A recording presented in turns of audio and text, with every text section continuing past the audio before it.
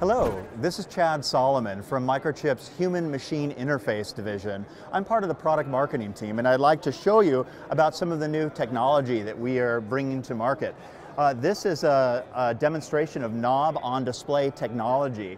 Here we've taken a very simple mechanical device and glued it to the screen. This is a capacitive touch element that can sense the knob's position we can tell its relative and absolute position. As I touch the knob and rotate it, you can see the screen responding. In this particular demo, I'm showing a home appliance. This is a dual oven simulation with one oven below controlled by the left knob and an oven below uh, controlled by the right knob.